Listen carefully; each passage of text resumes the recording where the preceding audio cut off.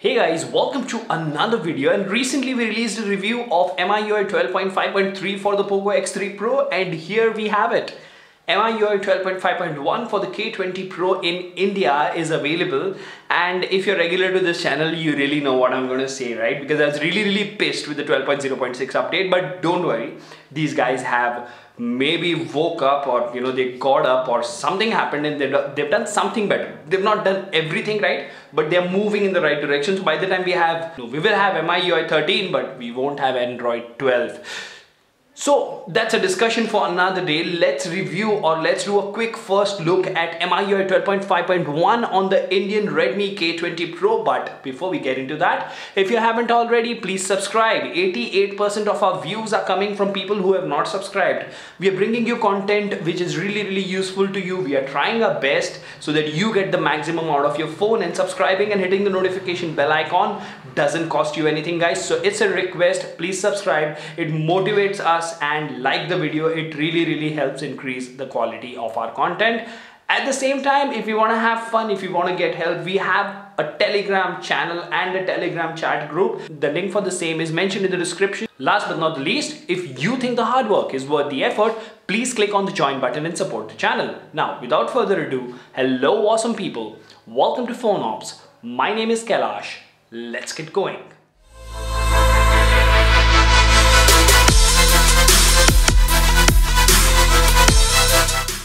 Alright, so MIUI 12.5.1. Every time I say this, people start expecting, okay, I will get, okay, I'm talking about K20 Pro users, I will get an Android version bump, I will get all of these 12.5 features. So some of it is true and some of it is not. Mm, let's not worry about that. Let's go to settings over here. Let's go to about phone and let's go to all specifications, right? This is a K20 Pro Android version, Android 11, as you can see over here, one, 2 and 3 there you go.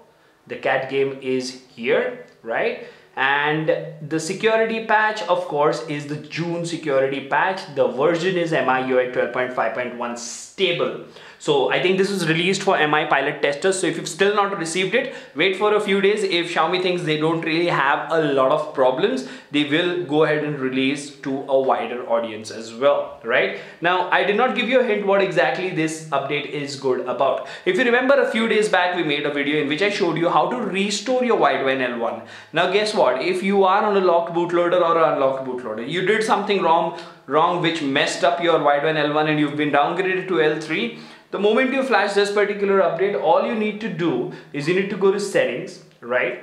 And then you need to go to security, that is passwords and security. You need to go to fingerprint unlock, enter your pattern pin, whatever it is, and then go to fingerprint payments. You will have an option called Widevine L1. Click here and click on certificate. It'll, you need to have an internet connection and it says updated successfully right? Certificate number one. Now my phone is already widevine l1 certified. I've never lost it despite flashing so many roms. So if you are someone who's had a problem with widevine l1 bam that is the fix for you. So initially we'll talk about the good things and later we'll talk about the not so good things with this particular MIUI 12.5.1 update. Finally, we still have Poco Launcher I have been mad at Xiaomi for doing this so late, right? So we still have Poco Launcher, that is not the point. But what we do get is Android 10 gestures. Let me actually go ahead and uh, launch a few applications over here, right? Because I didn't have any apps in memory. As you can see over here, right? It's pretty smooth it's pretty subtle and uh, it is highly recommended that if you're updating to this particular update even if you get an OTA update back up all your information and do a clean factory reset. Because this is an Android version upgrade and from MIUI 12 to MIUI 12.5 this is a major upgrade as well. Now I will tell you this that the UI is more responsive and more smooth right? If you look at the control center you have the new control center wherein the brightness bar doesn't go all the way at the bottom if you're adjusting the brightness the whole UI becomes invisible. So that's pretty neat. You still don't have the mobile data usage over here but if you swipe to the left you can get access to your notifications. And if you sort of long press you can get further information on the notification and to enable or disable certain features of the notifications and stuff like that. So the control center is doing pretty pretty decent as far as the change log is concerned. Now to the left you have app vault yeah that's where my excitement dies. To be very honest i am a google feed person. Trust me the first thing that i do in the morning is i go to google feed one of the three or four devices that i have and i check the news. That is how i get my daily dose of updates in tech and politics and whatever is happening in this world. So to me google feed is much more important. So i have to now manually press over here and then it opens and stuff but that's okay. If you're giving it to some devices in europe please give it to us. You know don't make people unlock their bootloader just for a simple feature like the one which you have in your global devices. Now moving on. If you press and hold over here or if you go to settings you go to more settings and you go to about the Poco launcher is now 2.20.1.34 and you have your usual set of options. Nothing new nothing has changed. You do have the double tap to lock screen gesture over here. Now, one thing that I will tell you over here is that I might be wrong here. Correct me if I'm wrong. If you've gotten this update, let me know because I have experienced that uh, the fingerprint scanner is behaving much better compared to the previous updates. It's, it's slightly faster, the in-display fingerprint scanner. And as I said, I might be wrong, I might be right. But the reason I hate Poco Launcher is because of this no animation whatsoever. Half you know half baked broken animations. Please fix this. If you've given us android 10 gestures i really really appreciate i mean i don't appreciate that because it is that late but android 10 gestures are there and the animations are broken so not really helping there. And this is a redmi device. Why why are still just don't get it. Forget it. Anyways, we still have the Poco launcher. That is it. And if you're going to be on a lock bootloader, you can maybe change your launcher and stuff like that. So that is that. And uh, you don't have the new recents. Yeah, that's that's another bad thing. So no problem there. But if you actually want to change your wallpaper one small good thing that you have over here is if you go to wallpapers and you go to super wallpapers you now have a full list of all the wallpapers that are available. You have the snowy peaks geometry faraway rings home and the red planet.